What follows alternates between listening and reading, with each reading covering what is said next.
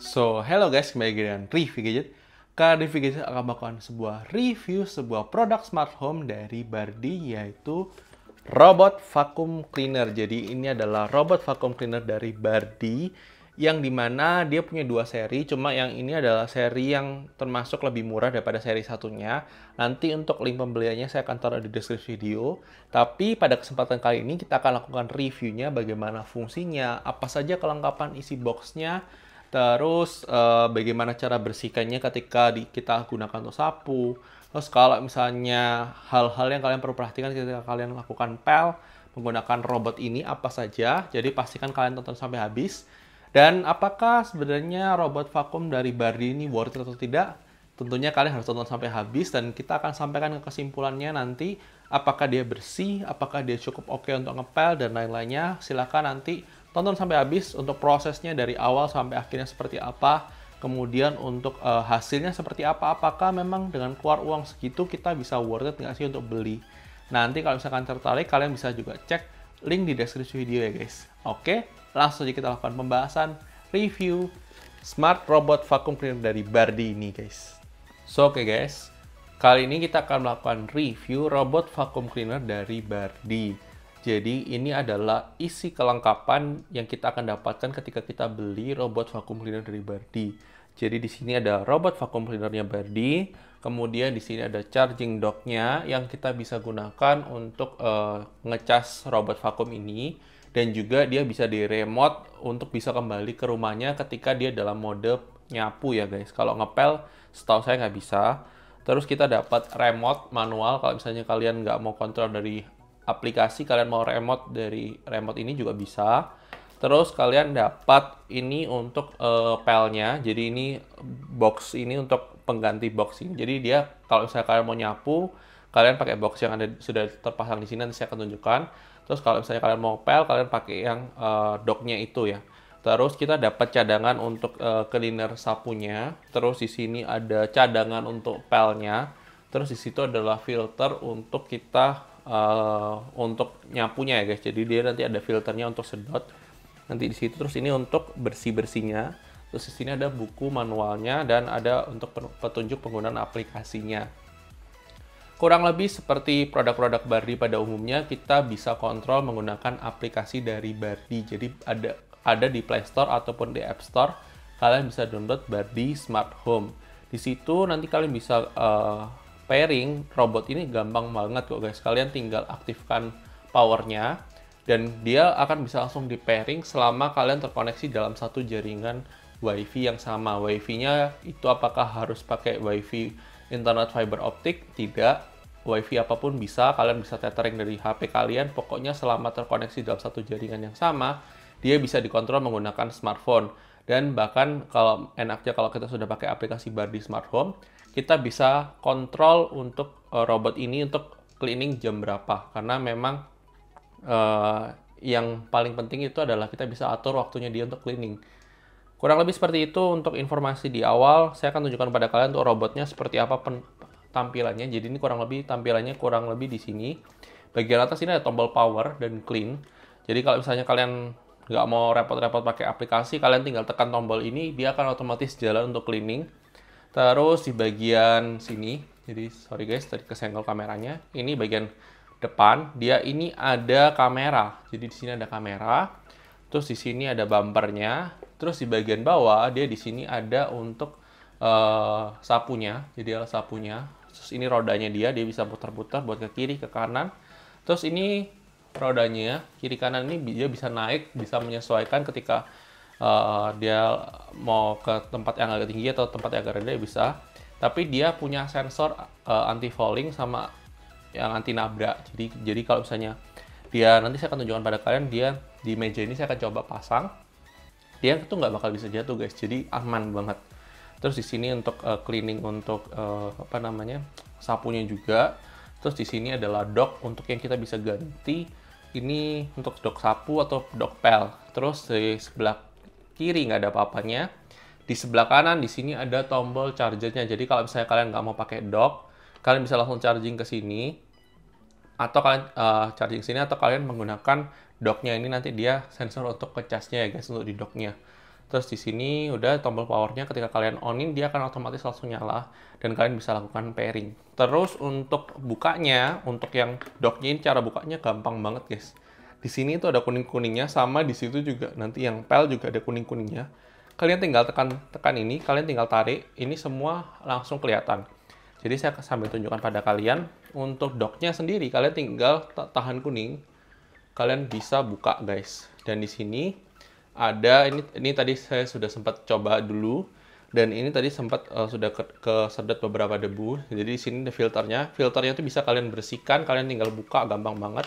Ini kalian tinggal buka di sininya, kalian pasang lagi, ini gampang banget pasangnya.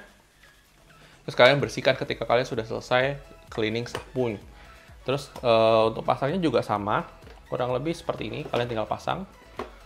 Ini, nah pasangnya seperti itu aja sama sebenarnya sama pel cuma yang pel ini dia ini lebih uh, terbatas. Maksudnya bukan terbatas sih. Ketika dia melakukan pel dia tidak bisa untuk nyapu ya guys. Jadi dia juga tidak bisa kembali ke charging dock karena uh, takut konsleting karena basah posisinya.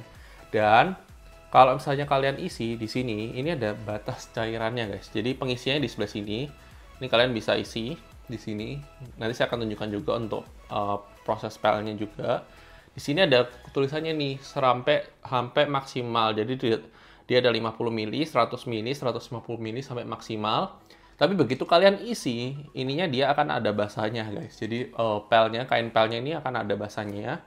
Jadi pastikan kalian uh, cleaning dulu, cleaning dulu sabunnya. Kalian sudah mau ini, kalian siapkan airnya, siapkan airnya sampai saran saya sih pakai 150 mili aja itu kalian bisa campur pakai kayak cairan super pel, kemudian cairan-cairan pembersih lantai asal dia sudah kecampur larut ya guys. Jadi dia harus benar-benar cair, nggak boleh ada padat-padatnya. Misalnya kalau kalian ada bubuk atau apa saya juga kurang tahu, itu nggak boleh. Jadi kalian harus benar-benar cair. Dan kalau misalnya kalian nggak mau pakai cairan itu kalian pakai air juga bisa aja sih sebenarnya nggak masalah.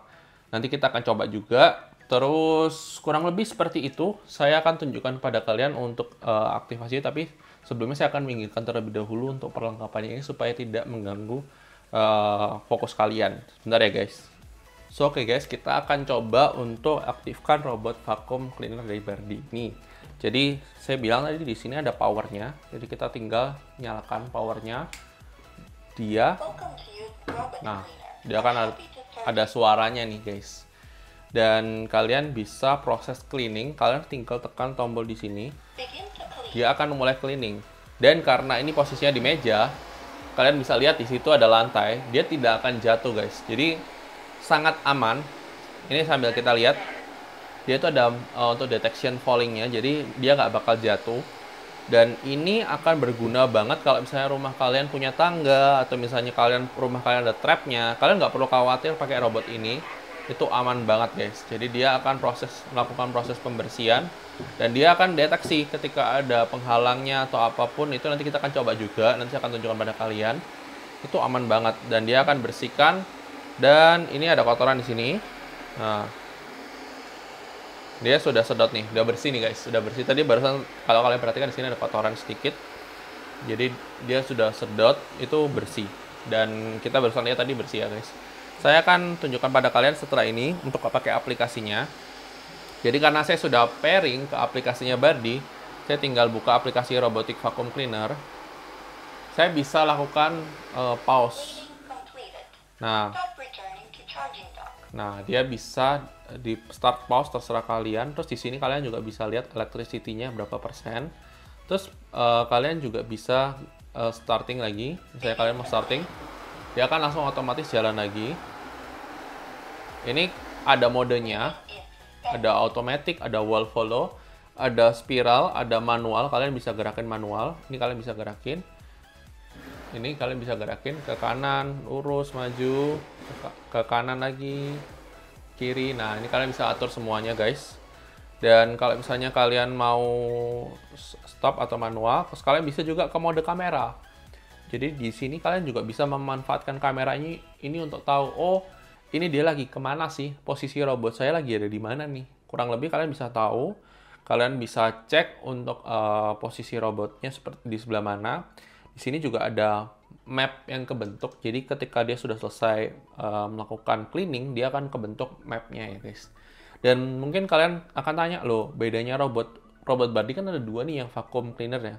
Nah bedanya di sini guys. Kalau yang robot vacuum cleaner yang saya uji coba ini, dia itu yang mode yang dia tidak bisa kita pilih ke daerah mana yang kita mau. Misalnya kita cuma bersihin daerah kamar atau daerah tertentu yang kita mau bersihkan. Dia tidak bisa pinpoint lah anggapannya, tapi dia bisa langsung uh, kita kita taruh di sana dia akan bersihkan area sana sih sebenarnya bisa aja cuma kalau yang yang satunya itu dia lebih advance anggapnya teknologinya cuma ini adalah yang robot vakumnya sebenarnya uh, sudah cukup oke okay kok guys. Tapi kita akan coba untuk bersihkan ke lantai habis ini. Kita akan coba untuk juga nanti pelnya seperti apa. Jadi pastikan kalian tonton sampai habis ya guys.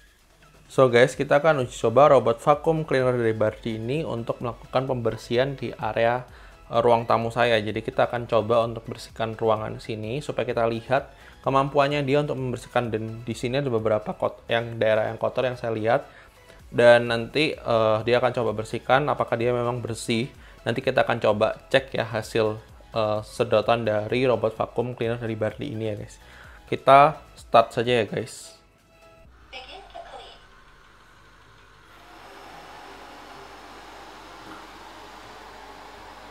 Nah, kalian bisa lihat di situ dia tidak tertabrak, jadi dia berhenti karena ada sensornya untuk ber, apa untuk berhenti.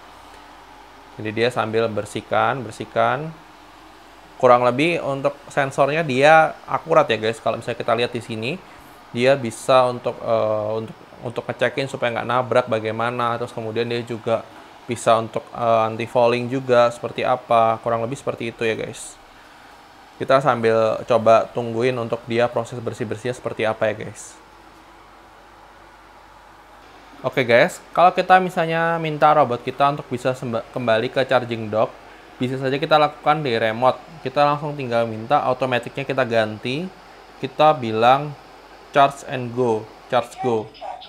Nah, ketika charge go ini, dia akan uh, perlahan-lahan untuk kembali ke uh, tempat charging tapi dia tidak melakukan penyapuan lagi, dia tidak sedot lagi. Dia untuk menghemat daya supaya dia bisa kembali ke charging docknya ya guys. Nah ini kita coba sambil tunggu untuk charging docknya dia bisa kembalinya seperti apa.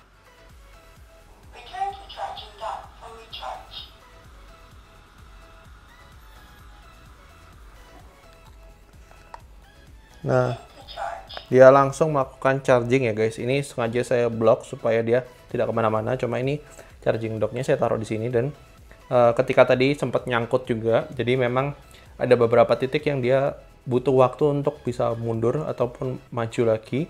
Dan itu kalian bisa remote secara manual. Nah itu fungsinya juga tuh ada kameranya. Jadi kalian bisa tahu kok lama ya kembalinya atau gimana. Mungkin saja dia nyangkut karena uh, robot vacuum Bardi ini itu juga kan tergantung pada tempatnya. Jadi kalau misalnya dia terlalu sempit atau misalnya dia pas kena sensornya itu dan itu dia bisa saja nggak balik ke e, bisa saja dia butuh waktu lebih lama. Dia memang bisa bergerak untuk kembali tapi memang butuh waktu lebih lama. Mungkin kalian bisa bantu dengan mode manual tadi, mode manual di HP kalian kalian bisa remote untuk ke kiri ke kanan supaya dia bisa segera kembali ke charging docknya. Kurang lebih seperti itu untuk sapunya kita akan lihat untuk hasil sapunya seperti apa Terus untuk kita akan coba untuk masukin yang pelnya ya guys.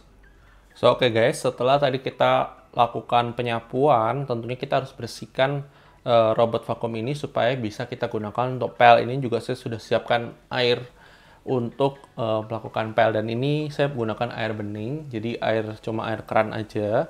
Kurang lebih ini 150 ml, nanti saya akan uh, tunjukkan pada kalian, tapi kita bersihkan terlebih dahulu. Nah, Cara untuk bersihkannya, kalian pertama kali kalian harus keluarkan terlebih dahulu dockingnya. Kalian tinggal tekan tombol kuning, terus kalian keluarkan, terus kalian bisa buka lagi yang di sebelah sininya. Nah, ini kalau bisa kalian perhatikan di sini kotor ya. Terus kita akan buang terlebih dahulu. Jadi saya sudah siapkan plastik untuk buang sampahnya supaya kalian bisa lihat. Jadi sebenarnya buangnya sih sebenarnya kayak buang sampah biasa sih ini. Nah, ini kurang lebih seperti itu terus di sini ini kalau misalnya uh, ada rambut-rambutnya juga kalian bisa bersihkan langsung kalian tinggal angkat kalian buang di sini sambil kalian bersihkan pakai ini yang dari bardinya kalian sudah dapat untuk bantu buat bersihin apa uh, apa sapunya. Jadi ini buat bersihin. Terus kalian juga bisa bersihkan lagi. Kalau saran saya sih kalian bisa uh, pakai lap basah ya. Kalau misalnya kalian mau lebih bersih kalian untuk jangka panjang sih saya sangat menyarankan kalian pakai lap basah. Jadi bersihkan aja tapi jangan lupa dikeringin ya guys. Kurang lebih seperti itu. Ini harusnya filternya bisa dicuci sama kalian. Kalian bisa cuci kalian jemur. Kurang lebih seperti itu untuk uh, bersihinnya. Jadi setelah bersihin ini masih ada hal yang kalian harus bersihkan lagi. Ini sudah selesai nih misalnya kalian sudah selesai bersihin. Ini tadi saya cuma contohin aja. Kalian balik di sininya di robotnya. Di sebelah sininya ini kan ada uh, apa namanya yang untuk dibersihkan lah dia juga bersihkan dan di sini kalau misalnya ada sampah kayak rambut atau apa, itu kalian juga harus bersihkan. Nah, bersihkannya kalian harus punya obeng, obeng kecil sebenarnya. Kalian pakai obeng aja. Nih, saya pilih ini.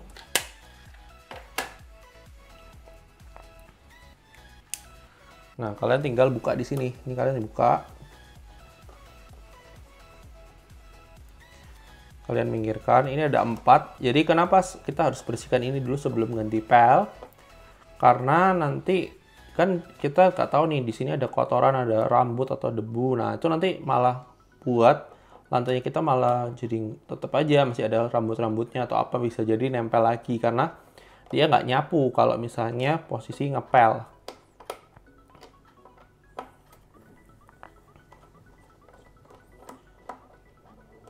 Nah, setelah kalian buka di sini, tentunya kalian pasti tanya lo terus gimana? Ya, ini kalian tinggal buka sebenarnya. Sebentar. Ini nih. Ini kalian tinggal tekan di sini, kalian tinggal tekan ke sini, kalian angkat naik, nanti itu kebuka. Terus kalian bisa keluarkan ininya. Ininya keluarkannya dari sini. Nah, kalian bisa bersihkan pakai tisu saja. Jadi kalian bersihkan pakai tisu sini ada ketemu beberapa rambut atau misalnya kotoran lain, kalian bisa bersihkan juga guys. Kurang lebih kalau sudah bersih, kalian tinggal pasang lagi. Pasangnya gampang kok guys, tinggal pasang di sini. Kalian pasang. Sini kalian sudah pasang. Ini sudah bisa mutar lagi, ya sudah kalian tinggal pasang lagi. Pasangnya tinggal kalian pasang di sini. Kalian ini hati-hati ya tadi tadi cuma kalian tinggal tekan di sini kalian tekan terus kalian bawa naik. Ini kalian tekan dua naik dia. Jangan dipaksa kalau misalnya nggak bisa karena nanti takutnya patah malahan. Terus kita pasang lagi. Oh ya kalau misalnya kalian misalnya uh, sikatnya apa si, uh, bulu-bulunya ini udah rusak kalian juga bisa beli spare partnya langsung di tokonya Bardi. Dia juga jual untuk spare partnya ini. Jadi kalian nggak perlu khawatir untuk spare partnya dia lengkap disediakan juga jadi filternya kemudian eh, kain pelnya terus kemudian sikat ininya sikat ininya juga itu semua dijual guys. Jadi kalau misalnya satu hari rusak atau misalnya satu hari kalian butuh ganti kalian bisa ganti ya guys. Oke guys kita habis ini akan lakukan pel. Nah kalian tinggal taruh balik lagi ke sini. Ini Kalian harus ketahui ketika kalian gunakan mopping, tentunya ini ada cairan yang akan masuk ke dalam sini. Nah, cairannya itu akan langsung uh, merembes ke sini ya, ke kainnya ini. Jadi, pastikan ketika kalian sudah isi, ketika kalian isi, ini adalah ketika kalian sudah memang benar-benar mau ngepel ya guys. Jangan sebelum kalian mau pel, kalian lagi sapu, kalian apa namanya, sudah siapin cairannya itu, nanti akan rembes di sini. Itu sekedar informasi buat kalian, dan jangan sampai kena elektroniknya sini ya guys. Karena di sini ada sensornya itu buat deteksi kalau ini lagi mode untuk ngepel. Jadi kalian tinggal buka saja di sini. Ini kalian buka. Nah ini ada water seal. Ini kalian bisa angkat juga sebenarnya. Bisa terserah kalian mau angkat atau tidak. Terus ini saya sudah siapin air 150 ml. Jadi di sini adalah batasannya. Kalau kalian lihat ini saya tuang aja. Ini kita tuang.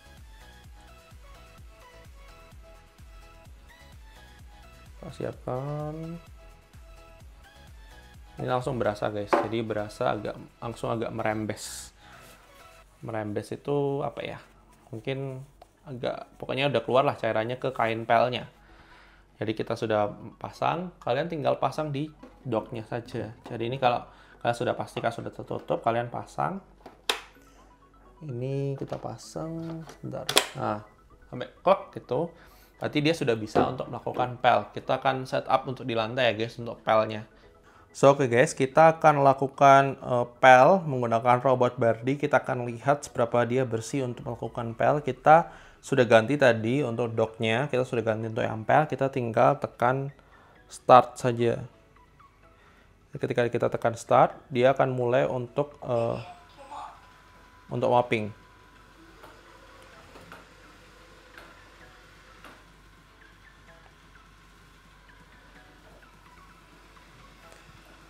Jadi beda ya guys, kalau misalnya kalian tadi perhatikan untuk suaranya sih beda. Jadi ketika dia mopping dia nggak seberisik ketika dia uh, lagi nyapu karena dia nyapu nyedot ya. Kalau ini dia nggak nyedot, jadi dia cuma bersihin doang menggunakan kain pel yang sudah dikasih air tadi. Tapi tadi saya sudah kasih kasih tahu ke kalian kalau kain apa airnya itu bisa dicampur sama obat cairan uh, untuk pembersih lantai, misal super pel atau dan lain sebagainya itu banyak macam kalian bisa campur tapi kalau bisa konsentrasinya mungkin lebih banyak airnya daripada cairannya karena cuma 150 milian kurang lebih guys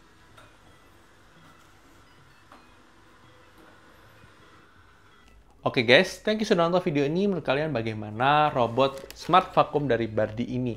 Apakah oke okay atau tidak untuk cleanernya sendiri? Kalau menurut review gadget sendiri, untuk robot vacuum cleaner dari Bardi ini itu sudah sangat oke okay untuk nyapunya guys. Jadi uh, dia ada dua mode, mode section itu normal ataupun yang keras. Dengan normal saja itu sudah bersih guys. Tapi catatan buat kalian ketika kalian pakai robot uh, smart robot khususnya smart robot apa pun sih sebenarnya nggak cuma Bardi. Ketika kalian pakai smart robot ini pastikan ukuran ruangan yang bisa dimasukin sama dia ini pas ya guys. Jadi kalau misalnya kalian berharap di tempat-tempat tertentu yang memang susah, maksudnya dia nggak bisa masuk, misal terhalang sama kursi, terhalang sama uh, apa namanya benda-benda lain, sehingga dia nggak bisa masuk, ya pasti daerah sana nggak akan bisa bersih. Kita pun sebenarnya sebagai kalau misalnya kita nyapu, nyapu sendiri, itu nggak akan bisa ke eh, tempat-tempat uh, yang susah kecuali kita minggirin terlebih dahulu barangnya. Nah sama itu dengan robot uh, vacuum cleaner dari Bardi ini ataupun robot-robot vacuum cleaner lainnya itu pasti tidak akan bisa untuk bersihkan ke daerah-daerah yang memang tidak bisa dijangkau oleh dia. Jadi itu pastikan kalian harus tahu terlebih dahulu. Jadi jangan berharap kalian 100% akan bersih semuanya, nggak bisa kalau misalnya kalian nggak bantu dia untuk minggirin-minggirin terlebih dulu barang-barang yang maksudnya bisa menghalangi dia untuk bergerak. Terus untuk uh, pelnya sendiri menurut saya sih sudah oke, okay, cuma oke okay aja karena menurut saya uh, untuk uh, robot ini memang dia bisa untuk bersihin. Cuma memang kapasitas kapasitas tangki untuk airnya kan memang nggak terlalu banyak. Jadi untuk ruangan yang ke coverage pun sebenarnya memang dia bisa coverage sampai 100 meter persegi bisa. Tapi uh, saya tidak menyarankan itu karena pasti kain pelnya juga sudah kotor. Sebenarnya ketika kain pelnya sudah kotor kalian harus cuci. Sebenarnya ini hal yang wajar sih ketika kita gunakan uh, robot untuk bersihin. Sama ketika kita pel biasa kalau kita pel biasa sendiri kan kita selalu setiap kali ganti ruangan atau misalnya kita pel di, di ruangan satu ke ruangan kedua kita akan cuci terlebih dahulu nih kain pelnya. Bedanya kalau yang di robot kan dia nggak bisa kayak gitu nih. Kecuali kita berhentiin, kita kita bersihin, terus kita pasang lagi. Nah itu mungkin uh, kalau untuk pel sih sebenarnya saya bilang ya cukup oke okay aja. Memang bisa dikasih cairan pembersih lantai, tapi uh, kalau misalnya pakai air saja sebenarnya sudah cukup untuk bersihin satu dua ruangan setelah kalian pakai kalian bersihkan. Setelah kalian pakai kalian bersihkan. Tapi ya ini adalah pendapat dari video tapi kalau untuk sapunya sih saya akuin ini bagus banget ya jadi kalau misalnya untuk bantu untuk nyapu nyapu ini sudah oke okay banget. Dan kalau menurut saya robot vakum ini cocok bagi kalian yang memang tinggal di rumah atau di apartemen. Kalau mungkin di kos-kosan kalau misalnya kamar kalian kecil ya buat apa kalian beli robot vakum. Tapi kalau misalnya kalian rumahnya rum, rumah meskipun rumahnya nggak terlalu besar tapi kalian punya beberapa ruangan tentunya robot vakum ini akan berguna. Dan jangan uh, jangan juga jangan maksudnya uh, maksudnya saya menyarankan produk ini memang untuk lebih fokusnya kalau misalnya kalian sudah memang tinggal di rumah atau tinggal di apartemen yang memang spe, space ruang space sama space ruangannya itu memang cukup besar sehingga robot ini lebih berfungsi. Kalau space ruangan kalian kecil, maksudnya kayak kamar kosan itu sebenarnya nggak nggak berguna sih. Lebih baik kalian nyapu sendiri, jangan males-males ya guys. Dan uh, ini adalah pendapat dari V-Gadget. Silahkan kalau misalnya kalian tertarik untuk beli produk ini, produk Verdi ini, smart robot vacuum ini, silahkan cek link di deskripsi video. Oh ya, sekedar informasi tambahan juga buat kalian. Jangan lupa ketika kalian habis nyapu ataupun ngepel menggunakan robot Bardi ini, jangan lupa langsung dilepas, dibersihkan terlebih dahulu ya guys. Karena khususnya yang pel ya, karena dia akan merembes, karena memang dia basically ketika kita masukin air, tadi saya sudah sampaikan, itu dia akan langsung rembes ke kainnya. Nah, kalau misalnya kalian biarin terus-terusan, itu kan akan bahaya, nanti bisa ngerembes ke mana-mana. Bisa kena ke elektronik atau apa, ke elektronik lainnya, atau misalnya ke robotnya sendiri, karena dia kan di sini juga ada baterainya ya guys, di posisi sini. Dan makanya itu saran saya ketika kalian menggunakan robot ini, pastikan kalian uh, jangan lupa untuk uh, dikeluarkan ketika kalian sudah pakai, bersihkan charging kalian bisa charging terus. Jadi kalau misalnya kemarin saya sudah coba, ini karena kan saya sudah buka terlebih dahulu. Uh, ini supaya saya ingin tahu nih untuk bisa memberikan review lebih detailnya. Jadi ketika saya uh, charging sudah 100% saya matikan charging docknya dan posisi on. Kenapa saya posisi on? Karena supaya saya bisa kontrol dari jarak jauh dari HP saya. Itu malah baterainya ketika uh, ketika sudah semalaman lebih itu dia standby sudah menghabiskan baterai kurang lebih 50 persenan ya guys kurang lebih 50 persenan dan itu sangat disayangkan maksudnya uh, maksudnya kalau memang kalian nggak pakai pun kalau misalnya itu saya sarankan mending kalian matikan atau misalnya kalian mau kontrol dari jarak jauh atau kalau misalnya kalian berpergian jarak lama tetap aja charging docknya nyalain aja jadi dia akan terus standby guys jadi itu untuk amannya aja jadi ini adalah info dari review gadget semoga berguna buat kalian dan kalau misalnya kalian suka video semacam ini, silahkan like video ini. Kalau misalnya kalian nggak suka, dislike aja. Dan nantikan video-video selanjutnya dari review gadget. Oke guys, sampai ketemu di video selanjutnya. Bye-bye.